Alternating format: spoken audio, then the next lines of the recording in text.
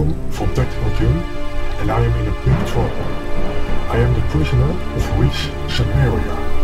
She locked me in her castle when I accidentally hurt one of her beloved queen snakes. I need your help to escape. Go to the giant locker room. It's safe there. In that room, you can find a lot of flying, colorful broomsticks. You need to fly in Samaria's castle to the coffee room. From there, I can jump on the broomstick and then we have to escape.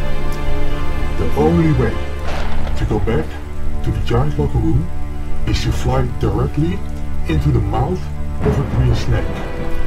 If we succeed, we will be free. If we won't succeed, you will never see daylight again.